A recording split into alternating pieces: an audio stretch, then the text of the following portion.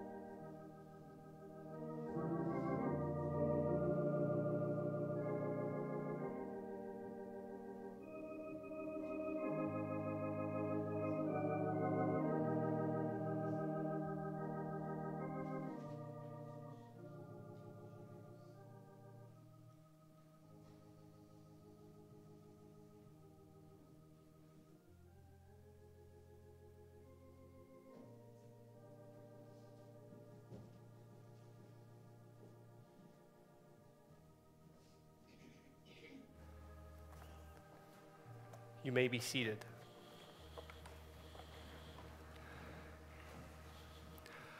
On behalf of Magdalena and her family, thank you so much for coming to share in this time of grief and remembrance. We're going to enter in today beginning with a time of prayer. Let us pray, responding to my saying, Lord, in your mercy, by saying, Hear our prayer. Almighty God, you knit together your chosen people in one communion and fellowship. As the mysterious body of your Son, Jesus Christ, our Lord, grant, we pray, to your whole church light and peace. Lord, in your mercy, hear our prayer. We ask that all who have given themselves by faith to Christ's death and resurrection may die to sin and rise to newness of life. That through the grave and the gate of death we may pass with Jesus to our joyful resurrection. Lord, in your mercy, hear our prayer. We ask for us who are still on our earthly pilgrimage and who walk as yet by faith, that your Holy Spirit may lead us in holiness and righteousness all of our days. Lord, in your mercy, hear our prayer. We ask for your chosen people to receive pardon and peace, that we may be cleansed from all our sins and serve you in faithful obedience. Lord, in your mercy, hear our prayer.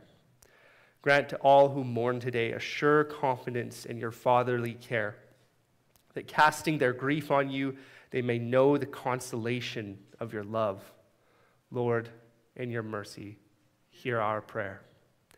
Help us, we pray, in the midst of things that we cannot understand, to believe and trust in the communion of saints, the forgiveness of sins, and the resurrection to life everlasting.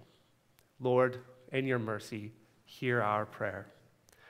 Grant us to entrust Magdalena to your never failing love.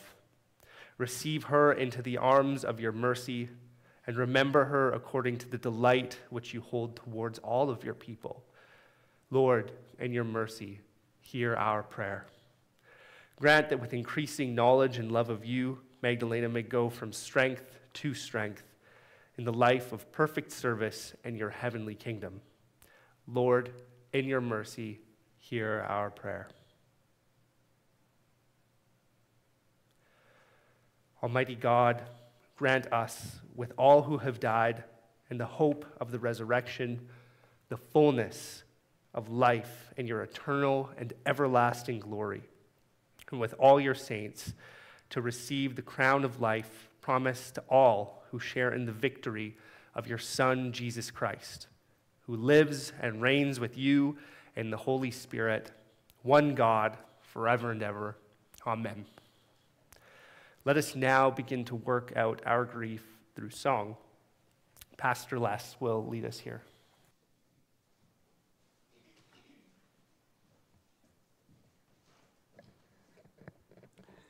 You have in your um, bulletin, you've got the words for How Great Thou Art. We'll sing it just as it is there, except for the last chorus. We'll only repeat the chorus once. We will remain, remain seated for this song.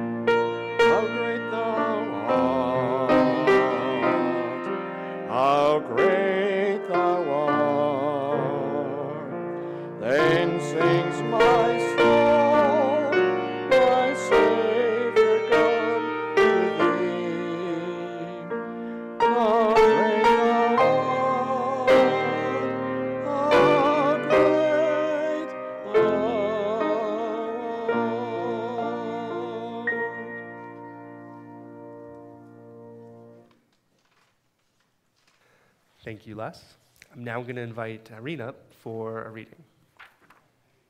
Yes, that's you.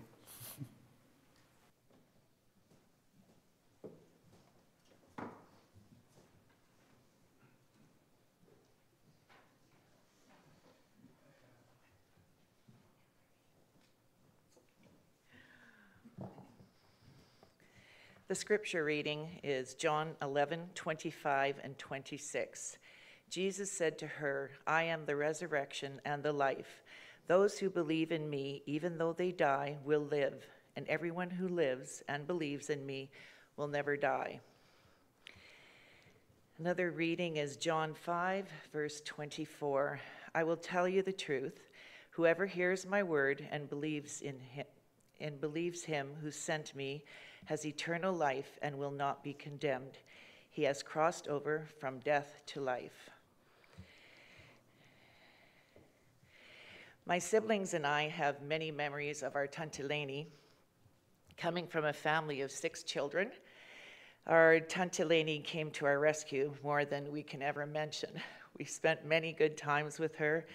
They had two, they, the two of them had no children, but always had dogs and had us, all of us. As a small child, I would have sleepovers at her house. I actually had her undivided attention, and if for a moment she couldn't, a loving shepherd dog to cuddle and play with. Tante learned in a hurry that when you said something to me, I remembered. Tante told me stories of how she said she'd pick me up one night, which I obviously remembered, but she slightly forgot. And I had my little suitcase packed, and uh, my mom phoned her and said, Irene is crying. She has her suitcase packed. You've got to come and pick her up. And she did. So she jumped in her truck immediately from the workshop and came and picked me up. Tante had nicknames for all of us and lots of silly quotes which we all felt endeared by. As an adult, she called me Noodle, and I called her Tante Noodle. When I was young, it was Irenchen. My children loved to spend time with them as well. Not only did Mel and Dan love her moose and goose dinners and their hunting stories, we would celebrate their birthdays with them every year.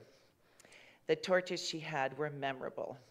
Melanie also had sleepovers at Tante Leni's, and she would teach, or rather make her, Barbie clothes for her, and she would bake with Melanie as well. She remembers playing in her garden full of flowers and ve- fresh vegetables.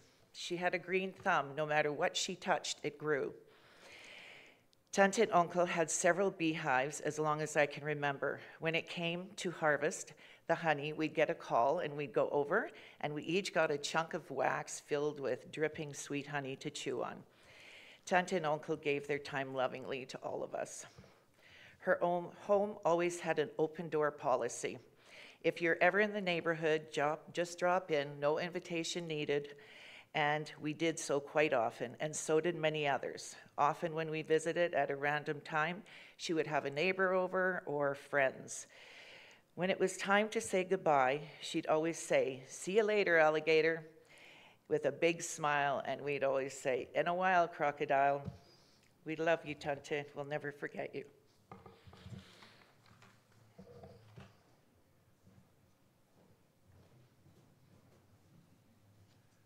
Next, I'm going to invite Fred up for the eulogy.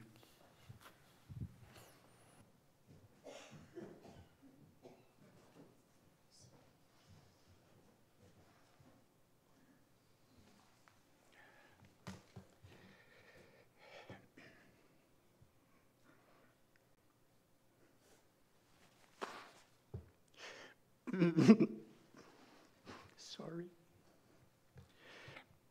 Magdalena was born August 28, 1930, in Schönborn, Petropolia, Yugoslavia, to Johann and Magdalena Schilling. She had two older brothers. Her mother died of pneumonia when Magdalena was just six weeks old. Her mother's sister and her husband, who were childless, took her and raised her as their own in Pančeva, Yugoslavia.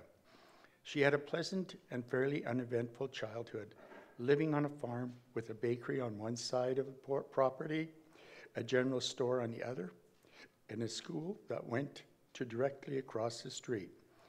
34 Goethestraßen in die neue Welt, she would tell us. She said her parents were kind and never raised their voices at each other or her. She remembered the alte Oma reading the Bible out loud in the evenings. Her birth father had remarried and lived a short distance away. She remembered a trip there by horse and buggy that took a number of days and was only taken there once before the war. In 1944, when Magdalena was 14, she, along with her parents, were put in a concentration camp. The parents did not survive, and Magdalena endured a lot of hardship lack of food, hard labor, and more. In spite of everything, she was resilient and resourceful. She had to milk cows every day, but with guards constantly watching, she wasn't able to drink any of the milk. But when she had to deliver the milk by horse and buggy, she, she to the neighboring town early in the morning, she would tell us with a smug grin on her face, when I left, there was a thick layer of cream on the milk, but when I got there, it was not there. Where do you think it went? Hmm, she used to say. Because of that never ending hard work, she and another young prisoner plotted about how to get a break by getting sick. They had heard that eating green fruit and drinking water would make them sick. Apparently, it did not work, and the hard labor continued.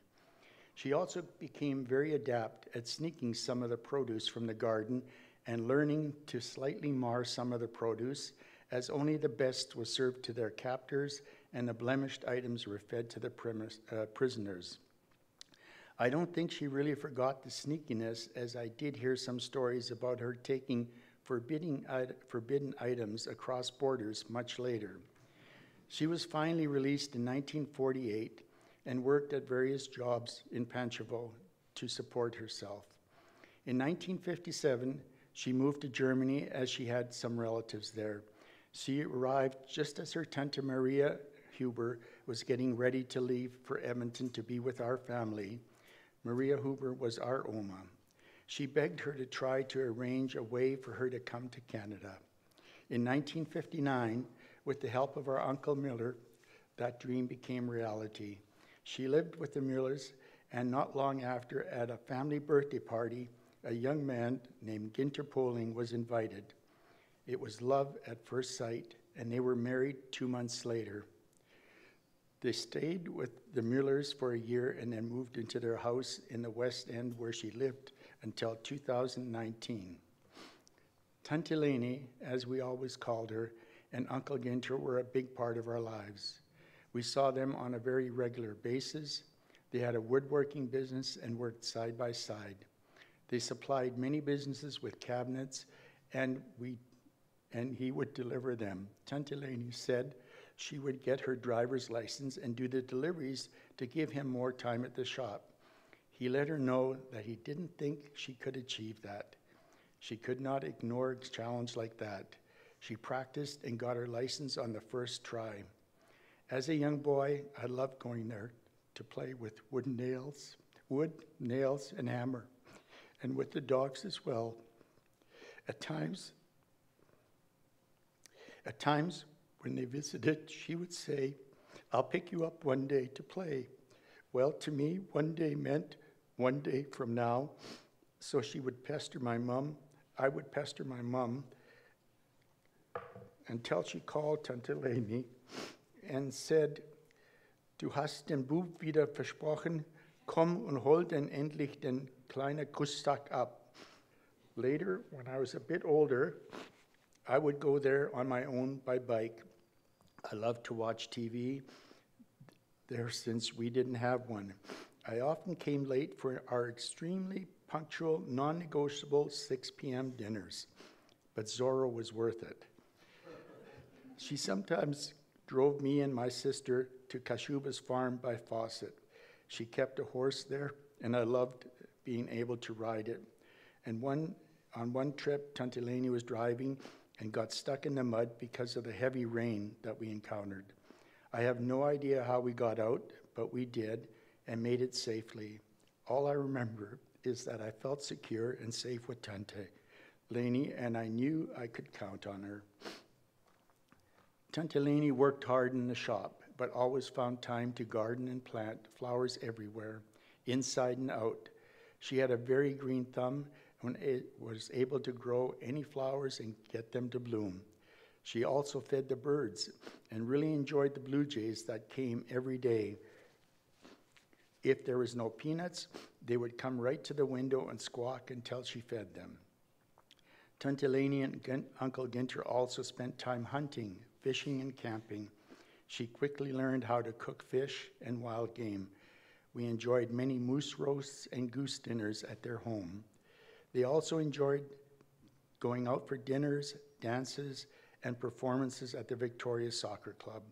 They had so many friends. I think they became friends with everybody that they met.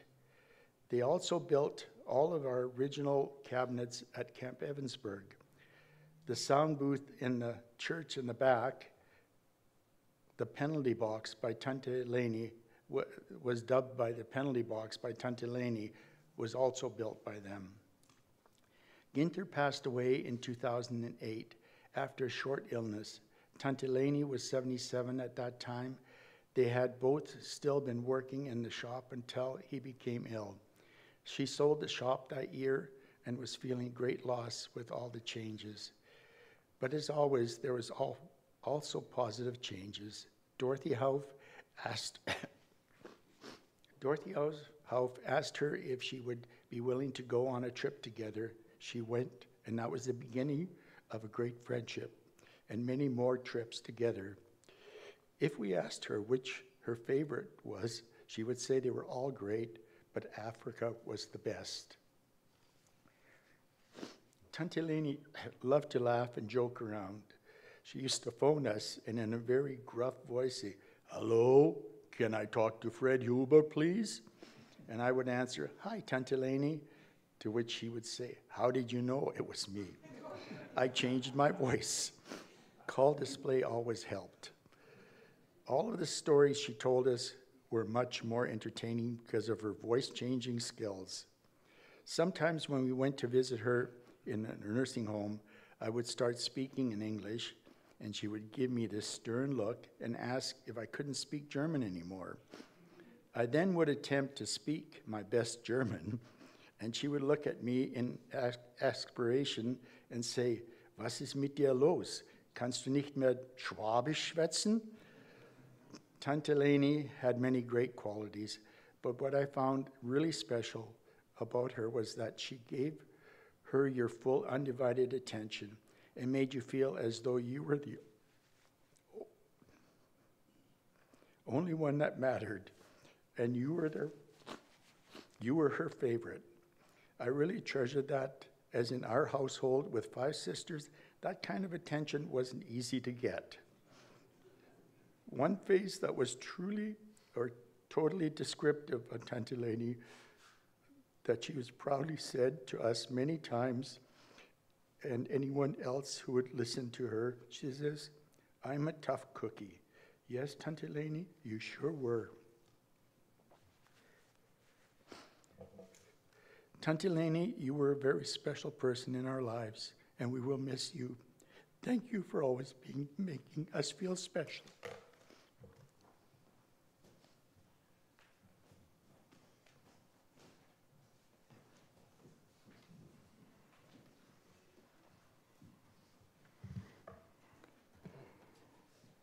I was uh, asked to say a few words uh, about Magdalena, more warmly known as uh. I often said to her that her and I were twins. Why? Because our birthdays were on the same day, August 28th, although hers came about 10 years before mine.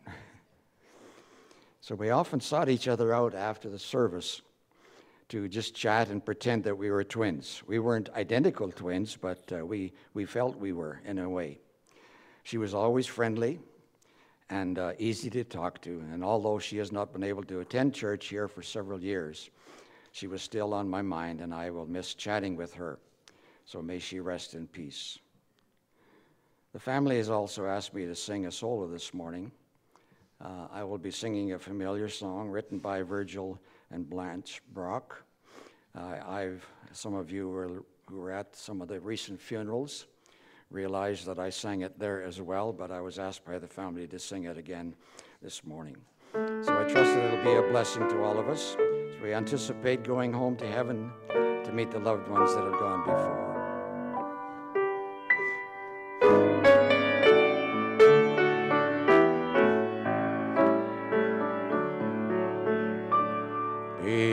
Beyond the sunset, oh blissful morning, when with our Savior heaven is begun, earth's toiling ended,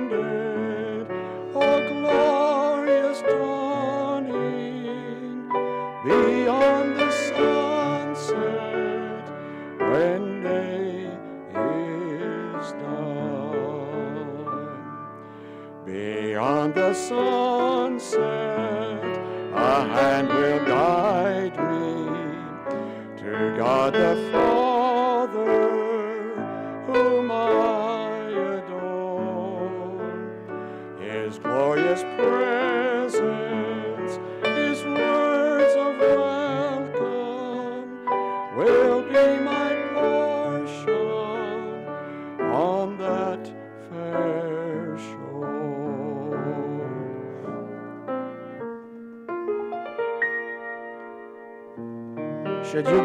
first and I remain to walk the road alone, I'll live in memory's garden, dear, with happy days we've known.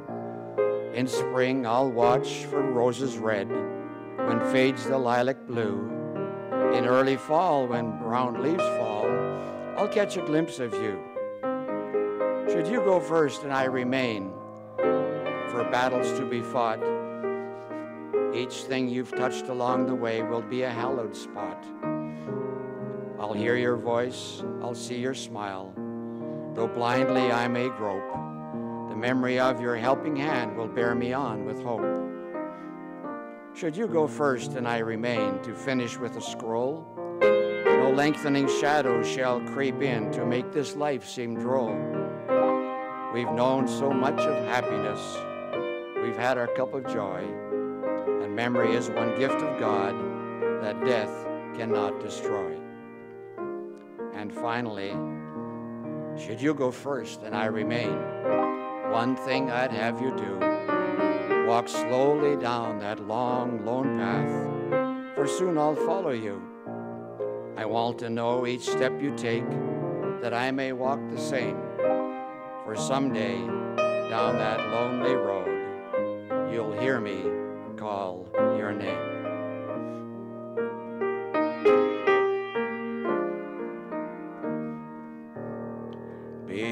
Beyond the sunset, oh glad reunion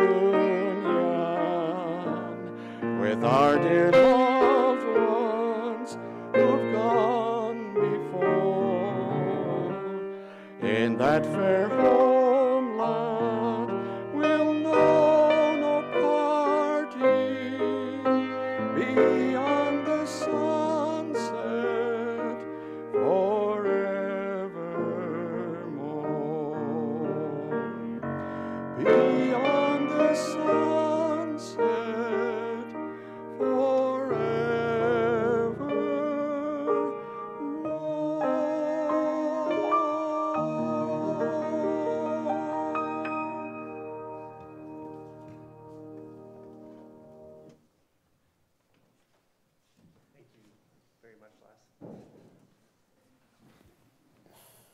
going to invite Anita, Elaine, and Dorothy up for a tribute next.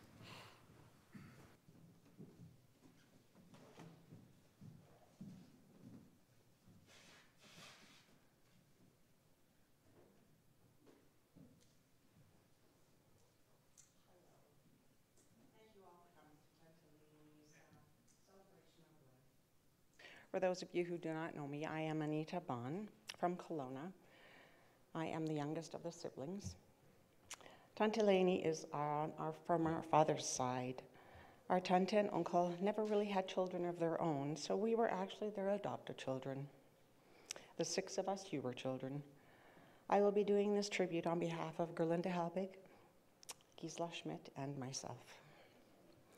We all had nicknames, and mine was Spatz. She has always had a special place in my heart. When a loved one passes away, all we have is our memories, ones to laugh about and some to cry about, but all are to be treasured. I do have many of them. I'll only be sharing a few. In my younger years growing up, I loved going to tantas and uncles for sleepovers, like you've heard a lot of us have. It was a, such a special time, and I was always so spoiled there. They were always so full of Hakatzen all the time. Going fishing with them was always a real highlight for me. I loved going on the boat, and the drives in the bush with their Land Rover was quite amazing. Tante would always pack so much food, and we had such great adventures together. Their woodworking shop was amazing. I received a Barbie doll house one year for Christmas, and our sleepovers were such good memories. We would build new pieces of furniture all the time for this little house. It was so amazing. Cooking was also so much fun with my tante. Whether it was baking cookies or cooking dinner, venison, moose, or goose, she was always so particular in her kitchen with her cooking. As you know, they were hunters and fishers. Much did I know, but God had a plan. I also married a hunter and a fisherman, a good one, I might add. I learned so much from my tante and could not, in and in turn, could use all those things in my life. What a blessing. I moved to Kelowna when I was 13 years old. From then, my visits were only when we could travel back to Edmonton to visit family. The times were so few, but nonetheless, they were so special and dear to me. She taught me how to do the best goose ever. It was, it became one of my family's favorites. She used to order us geese from the Hutterites all the time and would ship them to Kelowna for us every year. Sometimes she would even deliver them, and she would come along with them in her suitcase on the Greyhound. her garden and her flowers were incredible. She took such pride in them, and it gave her such joy to see them thrive in bloom indoors and outdoors. One time when she came in the summer, she gave Marv Uncle's favorite fishing rod. So we took her fishing on Woods Lake. Tante caught one of the biggest fish we have ever seen on that lake, and she had so much fun. Her trips to us became less and less until she could no longer visit us. Living miles away from family, thank goodness for the phone. We had our weekly phone calls, and ours was Wednesdays and Sundays to be in touch and catch up on all the good news. The phone calls, she would always go, Hello, Kelowna. What are you doing with the gumishu? Is how she would answer and talk. If we missed a phone call for whatever reason, she would sure let us know that we missed a phone call. they were very special and treasured and were terribly missed when she could no longer do them either. Now, some thoughts from Gerlinda Helbig. She was called Gangale. Gerlinda's memories of Leni really started when Gerlinda and Jack got married. They would go visit, and she would always give them a tour of her garden and flowers, which she was so very proud of. She had amazing cactus plants and would always bloom in her garden, bloom, bloomed for her, sorry, and in the garden as well as in her home. She had the best tomatoes. She really had a green thumb. Gerland has memories of her baking, in particular her poppy seed cake and her Christmas cookies. Tante Leni loved her big dogs, but Gerlinda was always scared of them. But Tante Lindy was so happy that Jack, of course, loves the dogs. You all know that, and he had no problem playing with them all. After she moved into Independence Suite in Shepherd's Care, Jack and Gerlinda would bring her cake or fruit. Her first question was before eating anything, and did you make this? Is this fruit from your garden? Tante Leni knew that Anita lived on an orchard, so she thought we all had fruit in our yards as well. When the weather was nice, Jack and Gerlinda would take her to the garden at Shepherd's Care for a walk. Then they would sit and have a snack and visit with her and anyone else who was out there. Tante Leni spoke perfect English, but if we didn't speak German with her, she would get upset and say, Könnt ihr nicht mehr Deutsch sprechen? Meaning, you can't speak any German. And we all got that. When she moved into assistant living at Shepherd's Care, they had to get very creative with their visits. At, as time went on, Jack couldn't visit anymore due to his health, and she'd always ask about Jack. Where was he, and how is he doing? Gerlinda typed up the Lord's Prayer for Tante in German, and her response was, Well, don't you think I know it? And Gerlinda told her, Well, I know you knew it, but in English, but she needed help saying it in German. So then Leni was okay with that. And sometimes when Gerlinda would pray with her, Gerlinda would stop partway through and Tanta would immediately pop in and she would finish the prayer. Now, some thoughts from Gisi. Oh, for Gisela Schmidt, but she was called Gisi. Tante Leni loved her dogs. She always said, My dogs understand when I talk to them, and she always talked to them, and they were very obedient. Tante Leni loved baking, and whenever Gisela and Reinhold went to visit her, they were sure to be able to enjoy a good cup of coffee and a piece of her wonderful baking and cookies. Poppy seed was her favorite. At Christmas time, she would always bake lots of different kinds of cookies to give to her friends and family. When Tante was at Shepherd's Care, Reinhold would phone her most mornings to see how she was, and they would read the daily prayer in her, to her in German, which made her very happy. Tante Leni had a lot of different funny sayings. In the evenings, when Gisela and Reinhold called her, she would say to them, Schlaft gut und träumt von Sauergurken. Our Tante, Tante was a strong and a hardworking woman. Whatever she did, she did well. She loved and was dearly loved. She had a heart of gold. In her last years, Tante was so ready to go home. She always asked, Why do I still have to be here? And we all repeatedly told her when God was ready, he would call her home, and so he did April 3rd. We love you, Tante. We'll miss you. Wiedersehen until we meet again.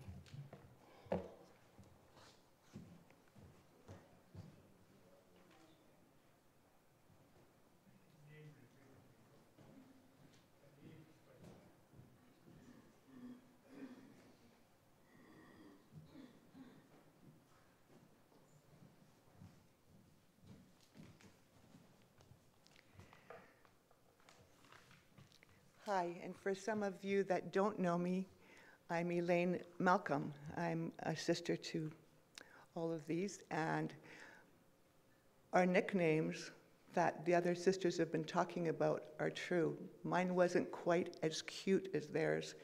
I was Edeltraut kocht Sauerkraut, which means my, my name in German is Edeltraut. And tend to always address me in that way when I called her. As soon as I said hello, it was, Hallo Edeltraut kocht Sauerkraut. Anyway, as today is a celebration and remembrance of Tante life, I wanted to share a few of the things that we have memories of Tante for. And there's, you've heard some rep- repetitions of things, and I try to avoid some of that too. One of my earliest memories of Tante and Uncle Ginter was at their wedding. I don't actually remember meeting Tante before that, but I'm sure we did while they were engaged. But it was a very, very special occasion for us because, as you've heard, a family of six kids is not invited very often to dinner at anybody's house, much less to a wedding. And we had such a good time. It was so exciting to be invited. They were very well suited, as you've heard. They worked together. They played together, they hunted and fished together. As you saw in the picture, it was kind of gross. They were actually skinning a moose or something like that together. Anyway, they did all of that, and Saturday nights was party night at Victoria Soccer Club. And I know some of their friends from Victoria Soccer Club are here today. It's really nice. They really enjoyed those times. Tanta's specialty, as you heard, was crispy goose and moose and all kinds of wild meat with all the trimmings, which was a real treat. Tanta was not overwhelmed with all of us, six kids, as she had no children of her own, and we were her kids, she said many times. We shared many meals at her house, and she would set up different tables because, of course, no table is big enough for eight plus two, so 10 at that time in their little house. Tanta always had coffee and cake for any guests that might stop by, and rarely was she out of poppy seed cake, as it was one of her favorites. She was always happy to see us and always very hospitable. Tante Leni, as Fred said before, often referred to herself as a tough cookie and proved that true time and time again. My brother Fred and I spent some weeks in the summer at the Kashubas farm. It was a big thrill for us, and Fred mentioned part of that one trip that we went, that Tante Leni and Uncle Ginter took us on. They took us there in absolutely pouring rain. And in those days, they didn't have nice gravel or paved roads. We had, there was mud, and the mud, we were sliding all over the road. I had silent tears rolling down my cheeks. All of a sudden, Fred didn't mention this, maybe he forgot. A big rock came and hit us in the window of there, and, and all of the glass fell all over us in the front seat. We were on a bench seat in their favorite Volkswagen truck. Many of you are familiar with one of Tante Leni's favorite phrases. Well, what you gonna do? Well, our tough cookie, she brushed the glass off our laps, out of our hair, got us cleaned up as best she could on that muddy, muddy road, told me that I didn't need to cry, that it would be all right. We continued on, and we did finally make it to the farm. In 1980, Vaughn and I and our two little boys moved to Cochrane for Vaughn's job. Our visits were fewer. When we came to Edmonton, we always made a point of seeing them. And at least once a year, we would see them at the annual Boxing Day party. When our parents were in their last days, Tante Leni joined our siblings and kids around their bedside. That's what families do. They support one another. Uncle Ginter's death was devastating to her, and now we were there to support her. We enjoyed several visits with her when she came to stay at our house. Some of our favorite memories of our visits to the famous Cochrane MacKay's ice cream shop on Main Street, where she would always enjoy at least two scoops. We will never eat Rocky Road ice cream again without thinking of her, as it was her favorite. When Tanta told us that she wasn't, that she hadn't visited Banff in 35 years, we decided it would be fun to pack a lunch, take her to Banff for a picnic on the river. We took her down Main Street afterwards to browse some of the shops and just show her some of, of Banff, which hadn't changed all that much in 35 years. As we were going out of one of the shops, she noticed that her favorite blue flowered cap was gone. So it was kind of warm, and she probably took it off and, and put it somewhere. But anyway, we had to retrace our steps, go to every single shop that we visited, every place we went to, searching for her cap without success. Because it was her favorite, the next day, I called each shop to see if it had been turned in or if they had found it whilst they were cleaning up. She was convinced somebody actually took her cap, like stole her cap because it was so beautiful. It was a Value Village special, one of her faves. At her next visit, we made up for it by taking her to High River, where her favorite show, Heartland, is filmed. There, she bought a new Heartland cap, one for her and one for our brother in law, Reinhold. She said it was also his favorite show, and so she wanted to get him one as well. It was so good to see her happy and having such a good time. A couple of springs, she had, had come, um, had us searching many greenhouses, which you've heard with her green thumb. She loved plants. I love plants, flowers. And so we spent lots of time going from one greenhouse to another searching for rare plants that were more difficult to find. And then we would come home and transplant them, and she enjoyed that so much. One day she decided she was going to help Vaughn as he was fixing the back fence. And that was really fun for her. She swung the hammer and liked the nails, and, and she, she enjoyed men's heavier work. She'd rather do that than do girls' work. So she often said that we sisters were too soft, too weak, and we didn't know how to work. She was a tough cookie. For those of you that don't know, I worked in a dental office for 20 years. Teeth and hygiene are important to me. Tante refused regular oral care, as she said, the film, which we call plaque, protected her teeth from cavities, and that is why her teeth were so good. Sometimes she would take a large mouthful of Slivovitz, which is a potent Yugoslavian alcohol, swish it around her mouth, clean her teeth, and then, of course, you can't waste it, so she would swallow it. Tante had her own ideas that you couldn't talk her out of. What a character. But you know, she may have had something there. She died in her 90s without having dentures. Dentists, beware. The last thing I'd like to share are the times that Tante was upset and she could no longer live on her own and didn't understand that she suffered memory loss and was no longer safe on her own. We did not know how to help in those times and would tell her that if we could fix it, we would. We would ask if we could pray for her, and almost always she said yes. We weren't always sure where Tante's spiritual life was at. When one time I asked her if she would like to invite Jesus into her heart to be with her and help her, she said yes. I was so blessed to pray what we call the sinner's prayer with her as she repeated, repeated each phrase after me. I wish I could say that life got easier for her. She continued to have many tough days ahead. However, the Bible promises that God is faithful to hear our prayers and knows our hearts.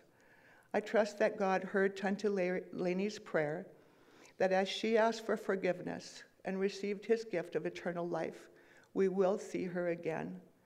God bless you, Tante Leni. Until we meet again, we will miss you. And in Tante Leni's words, See you later, alligator.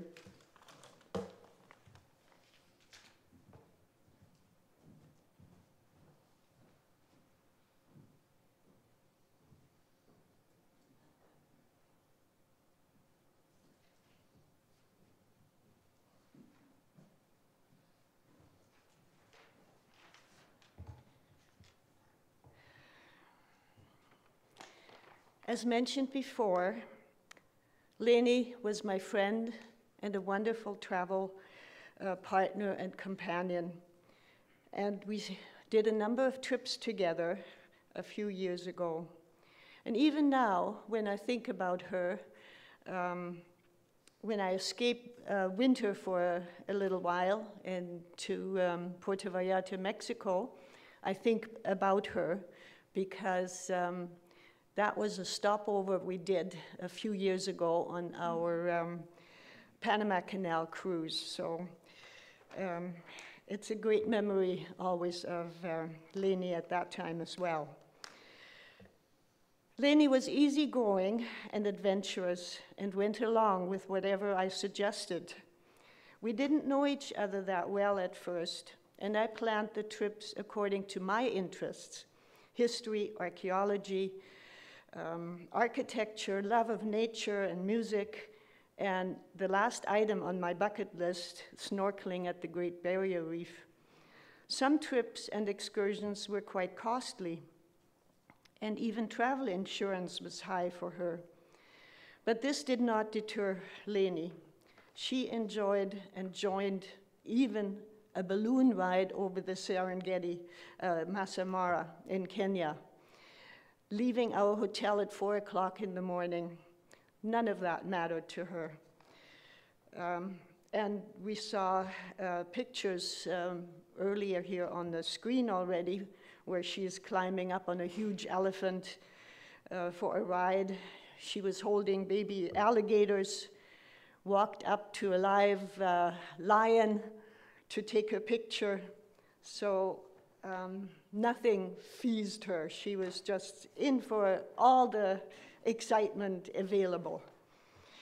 Um, and she was very fit, and it was also mentioned already that she was a tough cookie. And I experienced that too as we were traveling together. She was 11 years my senior, but she never had any trouble keeping up with me. Looking back over my notes, I'm surprised that she ever agreed to travel with me again after our initial Africa excursion. We traveled through eight countries South Africa, Namibia, Zimbabwe, Swaziland, Botswana, Mozambique, Kenya, and Tanzania. We had primitive accommodation at times with shared bathroom facilities, as well as luxurious uh, hotels with gorgeous swimming pools. but what really amazes me looking back is at times we were in transit for 44 hours nonstop.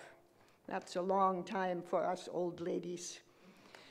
Another example of Leni's stamina is when she was uh, stung by a scorpion and uh, getting some medicine from the hotel staff, just continued with the planned safari. And one time in Wellington, New Zealand, she chose to walk 40 minutes rather than taking the bus back to the ship Nice weather outside, why should we sit in the crowded bus? We also endured humid and scorching temperatures of up to 35 degrees in Holland, Mexico, and Australia, and cold, blustering wind and rain of about 9 degrees in Quebec and Belize. But she took it all in stride. Leni was also alert and resourceful. On one occasion, while we were waiting for the bus in the hotel lobby in Los Angeles to get a ride to our ship for the Panama Canal cruise, she reminded me that I forgot to take out the money and passports from the safe.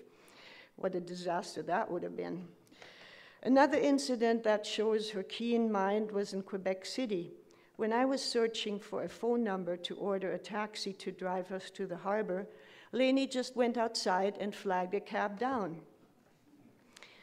One common thing we shared was our faith. We always had our devotions and prayed together and attended church whenever we had a chance.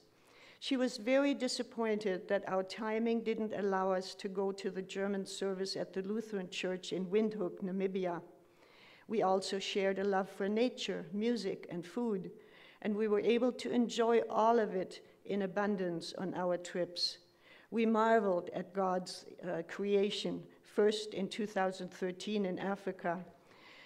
The magnificent animal world and close encounters with so many wild animals, just everything on earth really that's out there elephants, cheetahs, lions, zebras, giraffes, wildebeest, hyenas, impalas, monkeys, and wild dogs, crocodiles, and hippos. We saw it all and almost as close that we could touch it. Some elephants walked across the road right in front of us and also next to our balcony. And baby monkeys try, uh, tried climbing, they were climbing up on the railing, trying to get into our room. We also watched a zebra being killed by two lions, one having a grip on its throat and the other holding on to the rear. It took a long time till their prey finally stopped struggling. And then the lions were so tired, they didn't even uh, feast on their kill, but they had to lay down for a rest first. In 2015, on our New Zealand and Australia cruise, we saw wombats, two Tasmanian devils. We were able to hold koala bears and feed uh, kangaroos. Also highlights were the unique landscapes of deserts like the Kalahari and Serengeti, the huge sand dunes in Namibia, mountaintops like Table Mountain in Cape Town, gushing waters at Victoria Falls in Zimbabwe, the Rhine cruise in Germany with the Lorelei Rock and uh, castles and vineyards, and the unique rock formation at Peggy's Cove in Nova Scotia. We also enjoyed the magnificent fall foliage in New England to our last uh, cruise in 2017, the gorgeous flowers and fauna of Kirstenbosch Botanical Gardens in Cape Town, as well as Butchart Gardens in Victoria, BC in 2016. And we also shared a love of music, attending live concerts in Vienna and performances of string quartets, pianists, guitarists, saxophone, and fiddle players while on the cruise ships. I think we both loved the Africa trip the most. Leni had wanted to do this uh, to hunt animals, but our trip was a great alternative because we gathered lasting memories with our camera. The other favorite trip for Leni was the river cruise from Amsterdam to Budapest in 2015, floating on the Rhine, Main, and Danube rivers and exploring many cities along the way. Slovakia and Hungary are close to where Leni grew up, and she always thrilled to find people to converse in her native language. Even uh, on the cru cruise ship, she would find sales uh, staff that could speak and she always would uh, search them out and have a good chat with them. Another highlight for her was spending a few hours with her nephew Thomas Pohling, his wife and daughter in Nuremberg. We sat together for lunch in one of the main squares close to the Frauenkirche. Unfortunately, we both had to go our uh, own way again, but I think Leni remembered this visit very fondly for a long time. Leni had uncanny luck losing her luggage. While being transported by bus from the hotel to the Norwegian Sun for the Panama Canal cruise, her bags did not arrive. Luckily, it took less than an hour waiting for other buses to unload suitcases that she was able to spot hers. It was much worse, though, on our trip to New Zealand and Australia. She was only unable to retrieve her suitcase after we had uh, been on uh, board of the ship already for three days. So meanwhile, we had contained, uh, contacted the uh, insurance company, and she had purchased some clothes and toiletries, even had to get a prescription filled, with much um, appreciated help from Carr, uh, Rosemary Carr. Her name was Shech. She was um, a great friend and uh, former member of our church here. And she had invited us for supper and also gave us a tour of the area. One more incident uh, of losing luggage was on our New England cruise as well. At that time, Leni finally got her luggage after we left uh, uh, on the ship from Quebec uh, Harbor, so it wasn't quite that long, but it always happened to her. I always had mine every time, never a problem. Anyway, I will forever be grateful for these wonderful memories and my friendship with Leni. And I'm looking forward to our reunion after my last journey when Christ calls me home.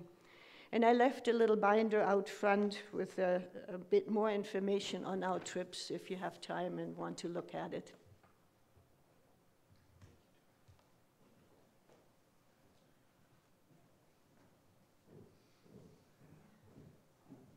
At this time, we're going to continue working out a grief with a song from Les.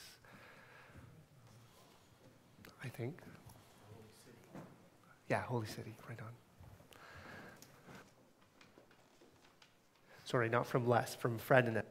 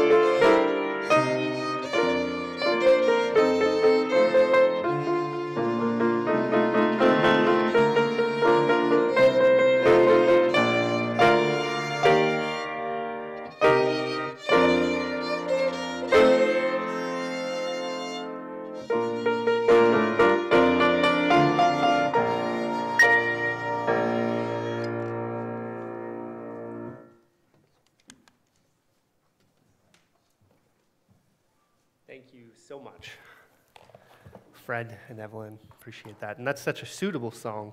When uh, we go to the grave site and we, we lay Magdalena down to rest, I'm going to bless the grave, saying, Blessed, we pray, this grave set apart for the rest of your servant Magdalena, that she whose body is buried here may rest from her labors in peace and quietness until the resurrection on the last day when the new Jerusalem comes down, the dead are raised, and the righteous are called to the marriage supper of the Lamb through Jesus Christ our Lord.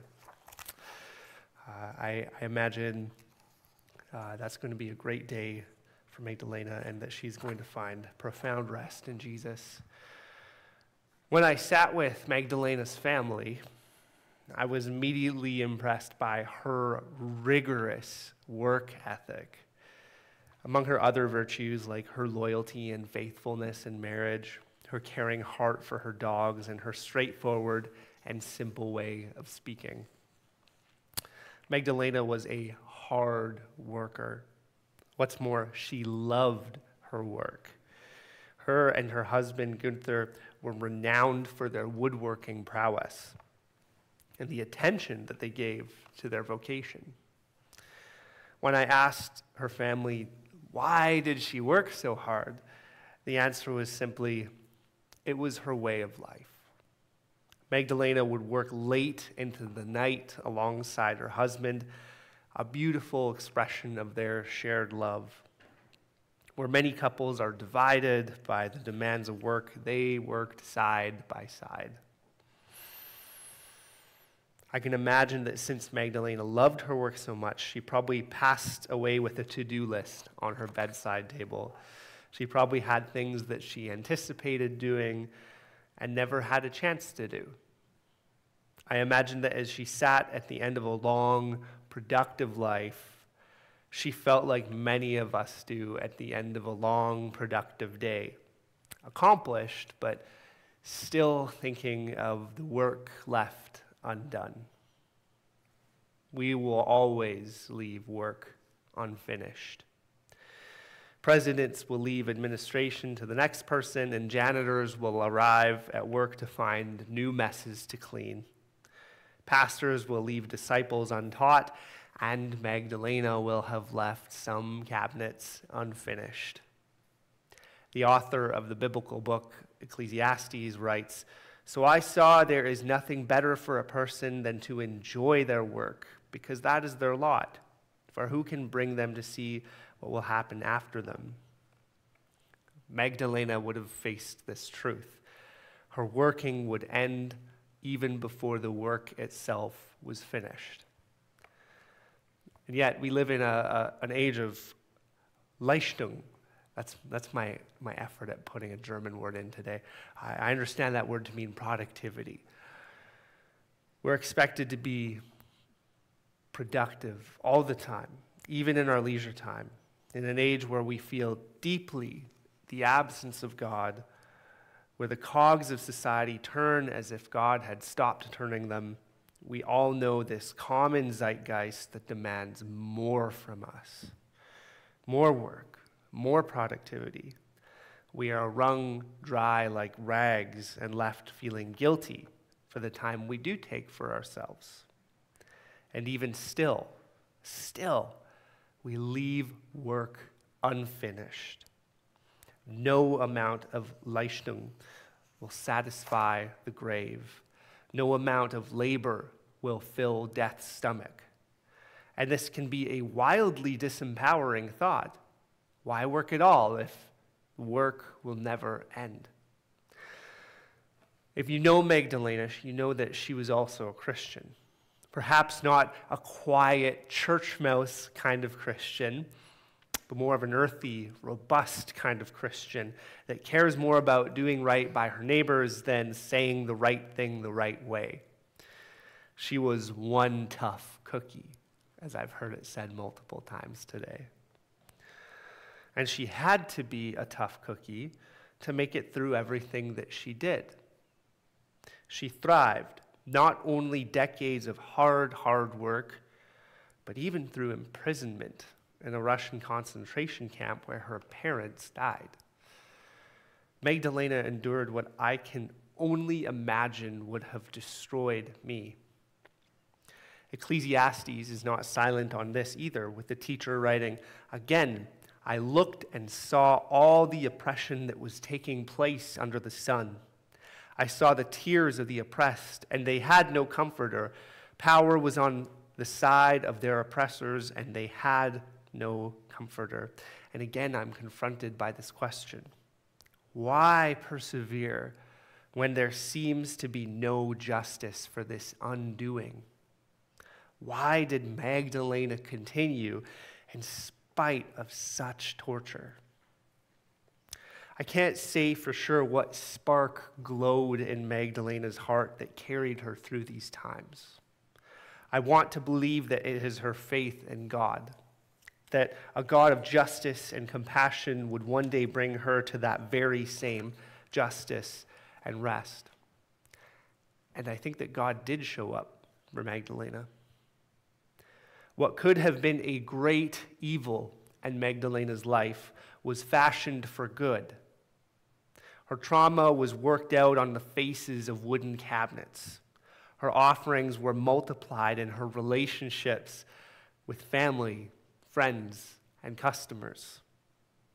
We learn in Romans from the Apostle Paul that we rejoice in our sufferings, knowing that suffering produces endurance, and endurance produces character, and character produces hope. And hope does not put us to shame because God's love has been poured into our hearts through the Holy Spirit who has been given to us.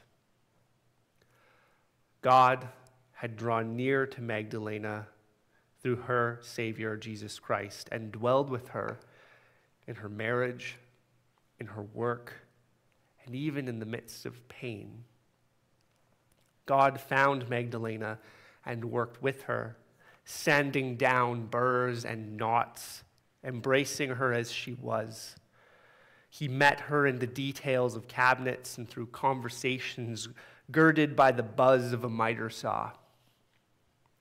God carved a space in his creation specifically for Magdalena, who worked out her pain in her work. I don't know for sure how deeply her time in this concentration camp affected Magdalena. I don't know if she had work left undone in recovering from that awful time. But what I do know is that God, in His infinite mercy, carved out time and rest in the most unlikely place, in her work, for her to be relieved of this pain, to work it out. And the God who began this work of bringing Magdalena to peace and rest has now undoubtedly finished this work, finally having drawn her soul to himself. I'm sure Magdalena will have a little cabinet shop in the resurrection where she enjoys continuing this craft. And this is my prayer for her and my hope for myself that God has met us in the midst of our broken and shattered places to give us rest as well. That God will accomplish that rest fully and finally in his resurrection, even as we persevere, persevere up to and through death. May God grant his rest and peace to Magdalena. May he grant us his rest and peace now, also as a sign of that eternal and full rest that he holds for all of us in the resurrection. Amen. Now, we're going to continue our grief in song by inviting Les up.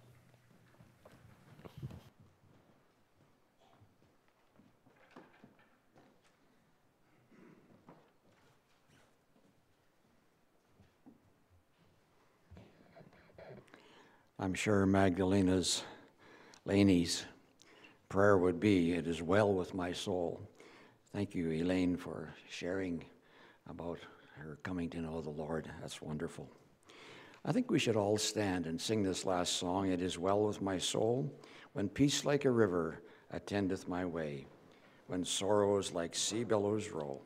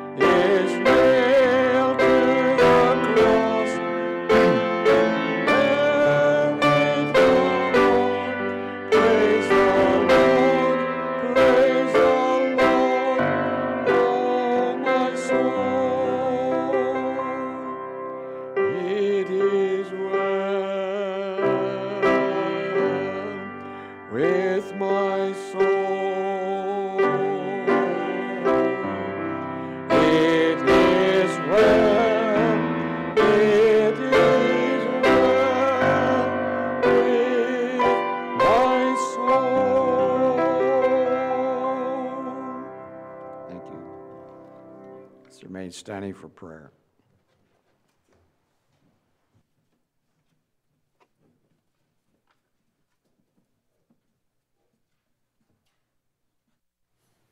I want to thank you all once again for all coming out and singing and remembering, and most, of all for sharing the burden of grief with Magdalena's family.